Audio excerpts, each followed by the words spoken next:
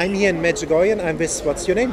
Honor. Where are you from? I'm from Dublin, outside of Dublin. And you told me you came a long time ago. You were at the beach in Croatia. On holidays. Tell that story. That's so yeah. I came uh, to Croatia in um, 1989 and was here and heard, knew about Medjugorje, but it was too far. Came back the next year, my four children ranging from 16 down to 6.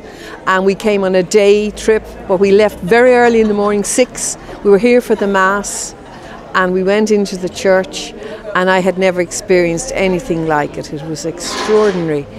Just this feeling of total peace and just a spiritual feeling I hadn't had, and there was a lot of stuff going on in my life, difficulties at home, and I was here and you know a little bit worried about things. So I went to the Eucharist and I came back to the seat, and it's like as if the whole I was no one else in the church but me. Was just enveloped in this love and this light, and I started to cry, and my daughters were looking at me and but I didn't care. I wasn't embarrassed, and I just we came out and we met the guides, and they were very good guides, and they told us the story. I knew a little about it here from some lady that helped me with the children, but I thought it sounded, you know, a little bit over the top maybe, Yeah. but I was yearning to know more. Mm-hmm. And she told us that the guys and one of the guys had been in the IRA so my sons were fascinated and they had a conversion in prison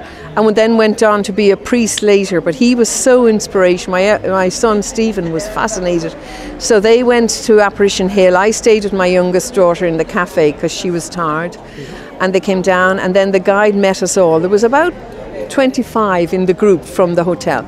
And we were all due to go back down that evening for dinner to, to our resort. And the guy said, maybe you'd like to stay for the apparition. And everybody said, yes, yes. So in those days it was in the church, in the loft, in the, uh, you know, in uh, the, the upstairs of the church. So we were all outside and everyone was praying the rosary in different languages.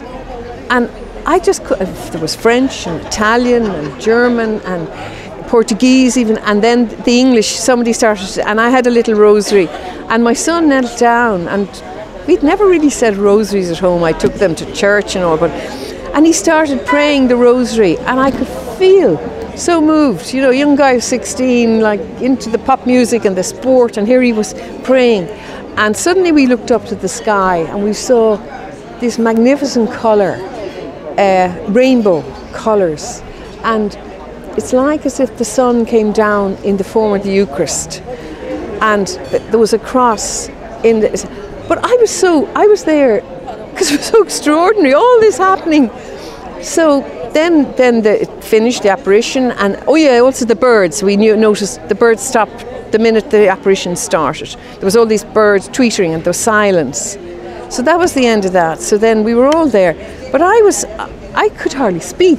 all this had happened, and coming from a, a, resort down with all the bars and the beach to be brought into this spiritual enclave. So we went on. So we went back down to the hotel, and I couldn't. And I was on the bus, and it was like all I wanted to do was go back to Medjugorje. I didn't want to go back, but we resort, had, no? Yeah, just stay. Yeah. So we went back down, and uh, we finished the holiday. We we went home and things were not good at home. My husband wasn't well, and there was difficulties with our. In, very difficult. But the only thing I wanted to do when I got back home to Dalkey was go to mass. And there was an evening mass in the parish, and I had arrived late the night, so very tired the next day. But I got and I was down. I just was like propelled. I was like drawn, and I remember meeting the local priest, and he was not too keen on Medjugorje. He said, "Oh, I don't hear." I said, "Father," I said, I, have never experienced." So he listened a little bit, but you know. But so then every sort of daily mass, and then I said, "I have to go back to Medjugorje." Mm-hmm. So there was the next week in the church. I see a sign. It was a group going uh, in October. So I booked it, arranged babysitters, off I went. But arrived here thunder, lightning, rain, wind, fog, everywhere, chaotic, dreadful flight. And all these people, they were very holy people, they were coming. And I was just a beginner, really. I said, Oh, what have I done? And I arrived and we stayed in a little farmhouse way out. And I said, I don't like it at all. This isn't, what am I doing here? We were all sharing rooms and the but the family were beautiful. I remember being so impressed with the warmth of the family and the granny coming up with the fruit and the wine. So anyway, there was three priests with us, which was very good. Young priest in particular, I got on well. He was, fr- he was working out in South America. So anyway, the first few days, uh, as I said, it was cold, wet, windy. I said, "This is different than what I remember." In this isn't like I don't feel anything. I think they're all a bit too much. And oh, I said, I wish I was going home. So anyway, there was a beautiful woman in the group. She was Italian. She lived in Ireland, Miria, and she was the most beautiful, holy, spiritual, kind lady. So she could see me a bit, you know. Shauna, don't worry, you will be fine. And I met Father Slavko through her. Wow. So when I met Father Slavko, and he put his hand on me, and he said, Our Lady wants you here for a reason. So that was the beginning of it. And then that night we went to his adoration. And it was still cold, but it wasn't as bad, wasn't as wet. There was, and he came down the whole centre aisle of the church with the with the monstrance and the and the Eucharist. To each person all around went outside and there was a little down syndrome boy and he went to him and he put and he oh I was just I could feel myself. So things went very good. I started pray trying to pray more and on Friday they were going up Križevac and I said to Mary, Oh, I don't want, I'm not very fit, I don't want to go up the mountain. And she said, No, no, we will go slowly, you will be fine, you will be fine. So, anyway, and also the sun had come out. It then was 28 degrees. So I said, This is good, I'll get some suntan going home, being silly, vain woman. So, anyway, we went on the mountain and we broke away from the group. They were going very quick, and we were, and she had Father Slavko's prayer book uh, for the stations, and she was reading in this beautiful, gentle voice. And I could, oh, and then I don't know what station, and maybe the fourth station, she was kneeling, and I knelt down, and she started praying for my children, and she named each child, and I just got so uh, uh, emotional to hear their names, and suddenly, I just reopened my heart to Jesus, to God. And I heard this voice saying, Be not afraid, I go before you. And I thought the priest had come back with prayers. It wasn't an interior voice. It was like as if I had a um, ear plug. It was a voice of G, and it was the most beautiful voice that you could ever imagine. And I was there, and I said to Miriam, but she said, What do you expect? She was didn't think anything. She because she had seen extraordinary things here and she was so so close to Our Lady. So I got up, I ran up the hill. I don't even feel. I got to the cross. I put my hands on the cross and it was like as if a whole my body a, a, whole everything was taken away that was worrying and and just I was given a peace and I remember crying crying but I didn't care who saw me, and I would be self conscious. So I came down the mountain and I met a lady, and I met her years after that. And she said, Excuse me, she said, you must have had experience. And I said, Yeah. She said, she said, The Holy Spirit is shining out of you. I can see and I met her, as I say, about five, six years later, and she said, You're the woman. I said, Yeah, yeah. So anyway, we came back down. I was so happy. I felt, well, it was such an experience. And um, that last day, there was a mass. And CNN were here then, there because it was early days, they were filming this mass in the adoration chapel. And the priest said to me, Would you do a reading? And I said, Oh no, I said, I, would be too shy, I couldn't do that. I'm not. Look, he said, the other people were all from rural Ireland and their accents, he said, Well, you've a plain voice, you'd be good. I said, No, no. He said, Well, the Lord is asking you. Just put your pride away, you go and do. So I said, Okay. So I went and I did it, and it was okay, all right. So I came back to Ireland and that evening down to the Mass again. And the first thing the priest came up and said, Can you be a reader? We need readers. So I felt it started here, and so I took on the ministry, and I'm reading now since 30 years in my parish, and I never. Now sometimes you have to struggle and the devil will get into situations. I'm separated now seven years from my husband, but I'm in my own house. I'm happy. The children are okay. They, it's not ideal, but they knew it was difficult for many years. And one of my daughters came out here and worked with Father Slavko after the war. And my other son is a faith. He goes to Mass. My other two, no, particularly my youngest daughter. But through Medjugorje, I had a life changing experience. And I'm not saying it made everything perfect, but it, it you never lose the, the, the, faith in the Lord and Jesus. And I've been back here now, I've lost count. I come sometimes twice a year if I have the money. And this time I wasn't going to come. And then I said to Our Lady, look, make things happen that would be easy. I'd booked a flight, but there was problems. I have a small little cat, and no one was minding the cat, and I was worried about. I said, "Oh, I don't think I'll go." And, and then my daughter said, "I'll come and stay. I'll mind the cat. You go." So I was here, and I'm with my lovely friend Catherine, and I'm here since 12, 10 days, and I go back next week. But I hope to still live the message and to bring the hope of Medjugorje back to my parish and to my friends. So and, and why do you come back all the time? I'm drawn, yeah. And every time I'm getting older now, and I say, "Oh, I don't think I'll be going this year." No, but I love Croatia anyway. So I was in Split for two days. I still think it's the most beautiful country. Yes, the in seaside. The, the seaside. oh, the, and the architecture in Dubrovnik and Split and uh, Cavtat I've stayed in. So normally I come with a group and we have a few days on the coast and come up. But this time I was on my own. But I'm just drawn back, and I think there's something here that's nowhere else because Our Lady is appearing here. And the people also. There's a joy and there's companionship and you're never lonely here, you know. There's always someone to smile and to, and then the ceremonies at night, the the mass outside with the music, the beautiful music and the adoration. It's like nowhere else. And I really, really, and anyone that maybe will be listening to this that hasn't been, go, come and see, and you will be blessed many times, and it'll change your life, and it'll give us all a hope. And I think we need it now, the way the world is.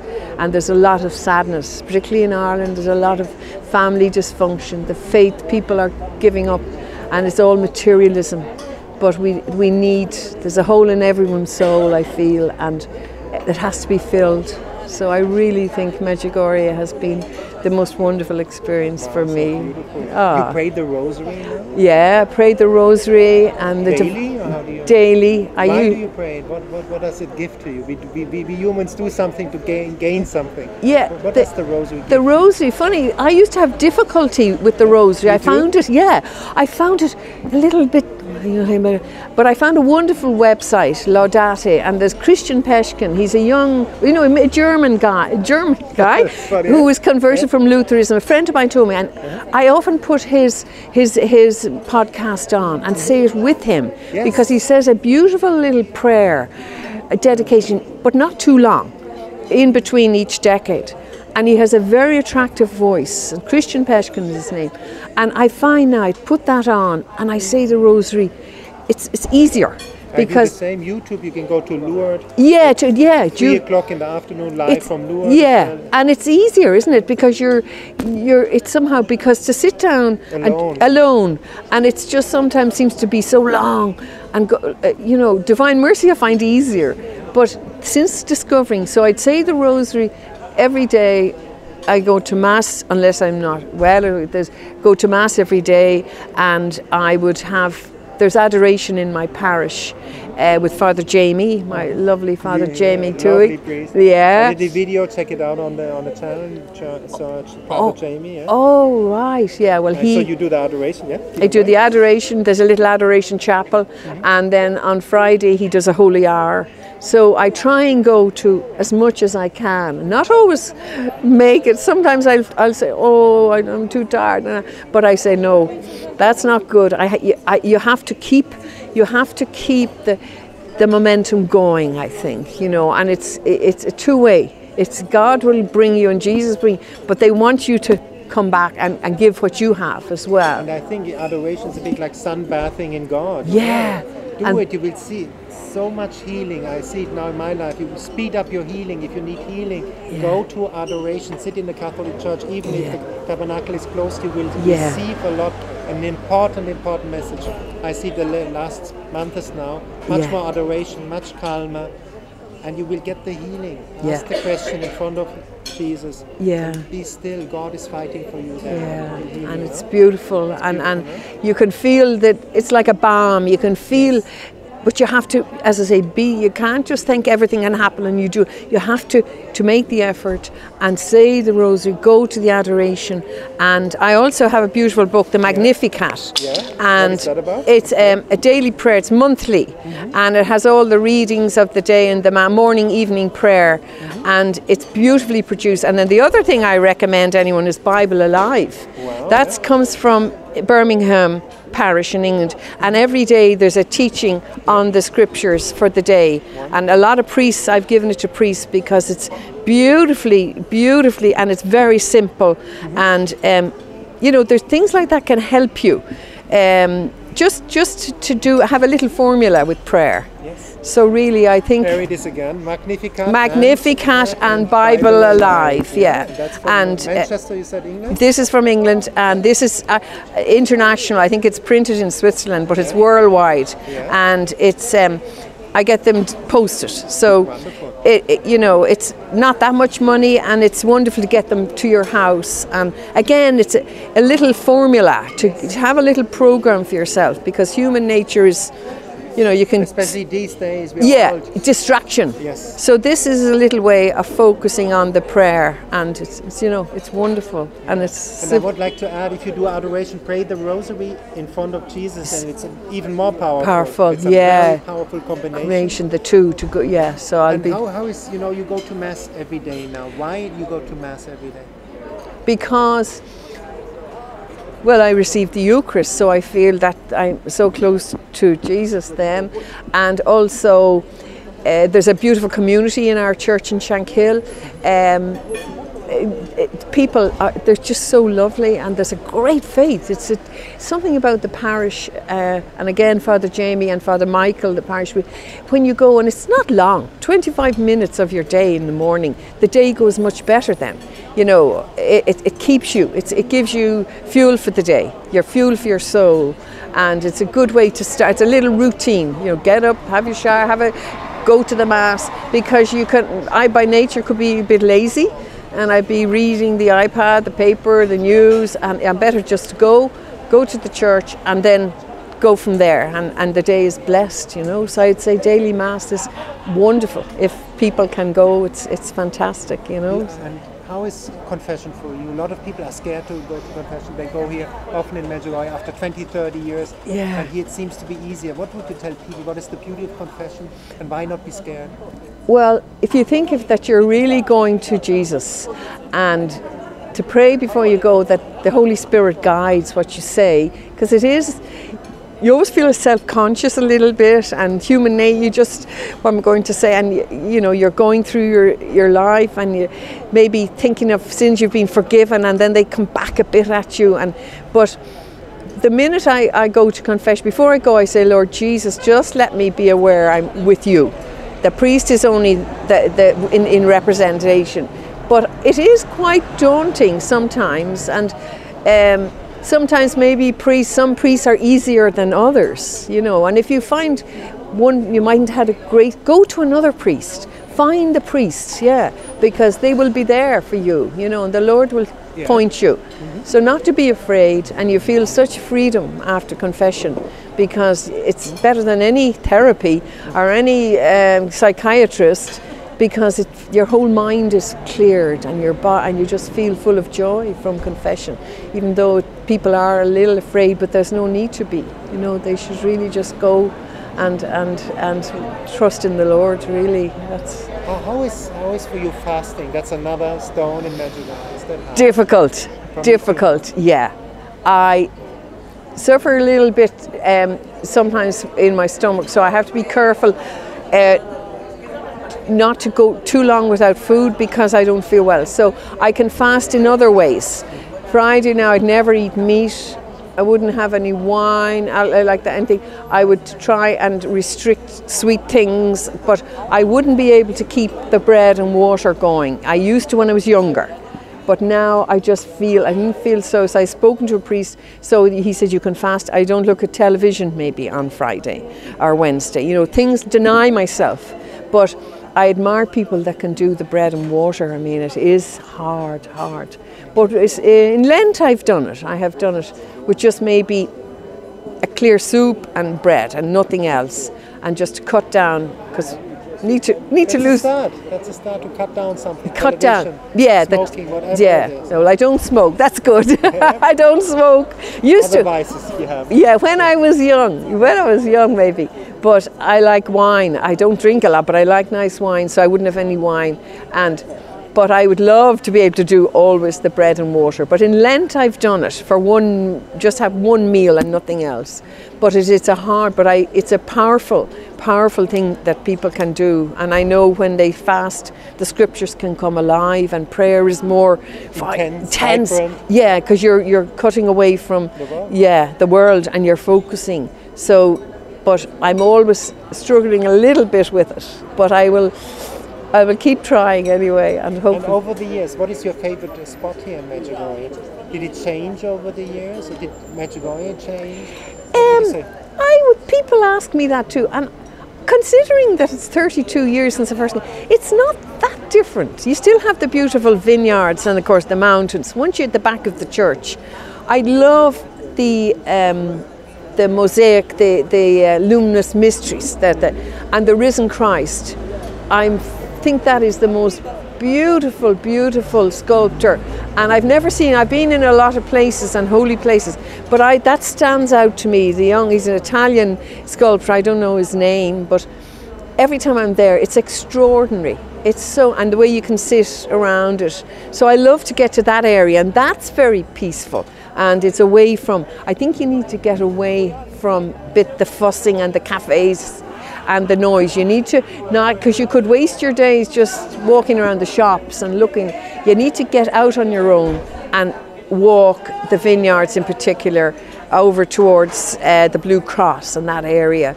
That's the same as when I first came. So, and the church is so distinctive. I think, um, you know, it's the same. It, it, it's there's a there's a there's a I don't know what it is. The inspiration of the two towers. There's something about St James Church, is and the the beautiful backdrop of the mountains too. It's so it hasn't really now much more hotels, of course, but then the people are coming here, so they have to. People say, oh, it's commercial, but they need the places to stay. And it's giving employment to the villagers because there's a lot of poverty around here. So, you know, Our Lady is working here in every aspect, I think, and uh, you know, it's it's it's just a wonderful place, and I'd recommend anyone if And they why would you recommend? What would you tell them at the end? I would Why just say- please come to Medjugorje and open your heart, and whatever problems you have, you'll be given a new a new strength through Jesus and through the prayer, and your focus will come off yourself, and you'll see just the beauty of closeness to God, really, and take you out of the materialism uh, that we all live in. You'll find a peace here that you won't find anywhere else, but because Our Lady is here, that's the that's, and I always people ask me and say, "Oh, what?" And I always seem to think one line is very good. When she first, early days, she came and she said, "I've come here to tell you God exists," and that blew me away because that is such a strong statement, because there's so much disbelief. So I always say to people, "Well, that's the message that God exists," and people have come here. There's a couple I have told them, and they've come and they have had a beautiful experience also. And there's other people have come and said, "Oh no, I didn't." So I just say a prayer for them, and not everybody is going to get the same, you know, thoughts and feelings. But certainly, I would say to anyone, if they can come, please come. And can I say the last question is, you know, we have the five stones, and I have the feeling Our Lady wants to teach something else to surrender to God's will. Did you make the same experience over the year when you surrender your Yeah. will, when you live in the divine will, Will, that yeah. you are much more peaceful, more joyful? Oh, 100%, yeah. Because then God's in control, you, not you. And you're just, whatever He wants, the way He wants you to live, that's going to be the best way for you because He only wants good for you. And you'll get this peace that you can't find elsewhere, you can't find through other philosophies or other ways of life, you know. So it's absolutely, yeah. It's God, like that? God is so important in the center. God is in the center. Thank you so Yeah. much for that beautiful interview. Ah, thank you very much for